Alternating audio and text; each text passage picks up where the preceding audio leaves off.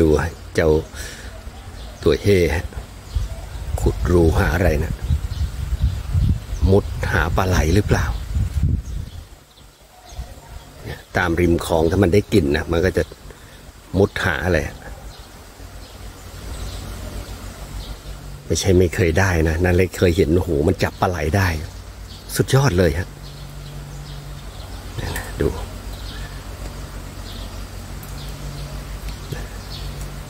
นู่นชัยหาไม่รู้ว่าได้กลิ่นอะไรฮะ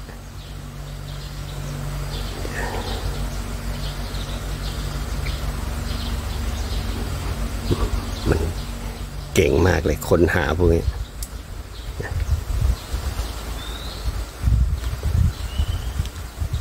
ก็อาศัยลิ้นนั่นแหละ ลิ้นพิสูจน์กลิ่น ดูลิ้นเขาแรบแรบแรบนะ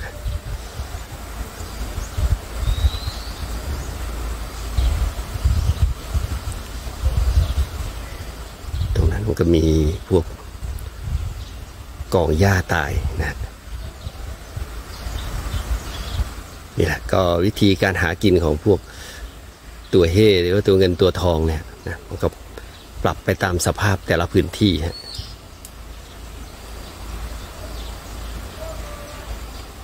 ก็ยังนึกภาพไม่ออกเลยว่าอีกสี่ห้าปีข้างหน้าเนี่ยถ้าเกิดว่ามันเพิ่มปริมาณเยอะมากๆเนี่ย เราจะทำยังไงกับมัน คงต้องหาหน่วยงานมาช่วยจัดการนะเอาไปปล่อยในแหล่งที่ถือว่าป่าที่อุดมสมบูรณ์นะพอพวกนี้เขาปรับตัวได้ฮะอยู่ในป่าอยู่ในอะไรสามารถที่จะหาอาหารกินได้ ในป่าที่มีน้ำนะนู่นฮะ ก็โชคดีของพวกเราที่อยู่ณที่นี้เราไม่ได้เลี้ยงไม่ได้เลี้ยงสัตว์นะฮะเพราะว่าในเขตของข้าราชการนะบ้านพักข้าราชการเราจะไม่มีการเลี้ยงสัตว์นะถ้ามีการเลี้ยงสัตว์แน่นอนฮะโดนแน่นอน ไม่ว่าจะ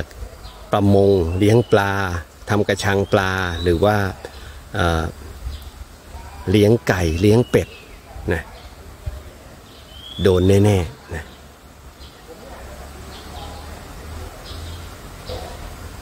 ก็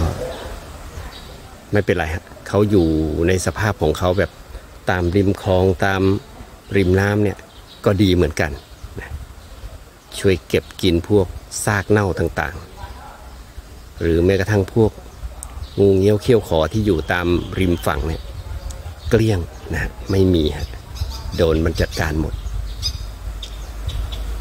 นี่ก็คือเทศบาลนะที่ช่วยดูแล